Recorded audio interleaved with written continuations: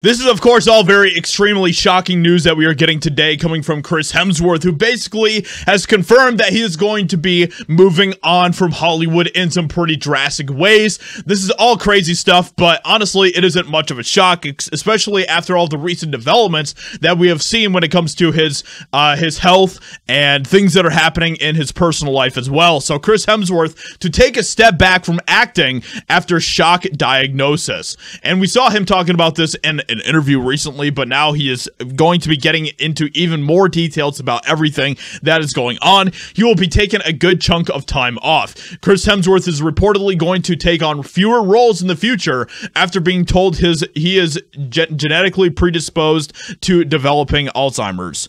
Whilst the uh, Australian actor won't be retiring, he has decided to lessen his workload in the coming years following the news. He currently has four projects in the works, including an upcoming Avengers sequel, and of course, we all know him as Thor, one of his uh, one of the characters that he has done absolutely fantastic at. And uh, Chris Hemsworth is a great actor. I've enjoyed a lot of his performances in a lot of different films, and uh, obviously, he is someone who seems to be fairly normal in comparison to a lot of people coming from Hollywood. So it is sad to see that this is all happening.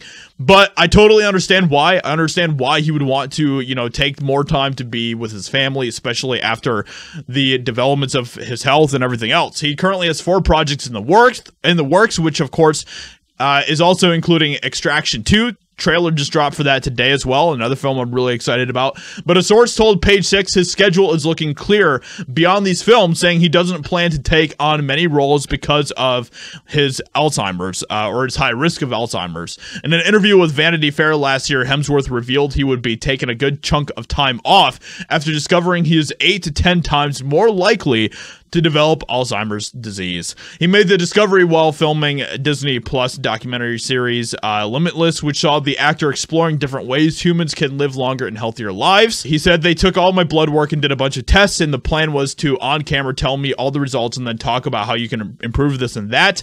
And Peter Attia, who is the longevity doctor in that episode and overseeing a lot of the show, called Limitless creator Darren Aronofsky and said, I don't want to tell him this on camera. We need to have an offside conversation and see if he even wants this to be in the show. Chris Hemsworth has been really shook about all of this. Um, and uh, this is what he kind of closed with by saying, It really triggered something in me to want to take some time off. And since we finished the show, I've been completing other things I was already contracted to do. Now, when I finish this tour this week, I'm going home and I'm going to have a good chunk of time off and just simplify. Be with the kids, be with my wife. So, and uh, that is honestly probably a good thing. It's a lot, and I totally understand why he would want to just be with his family.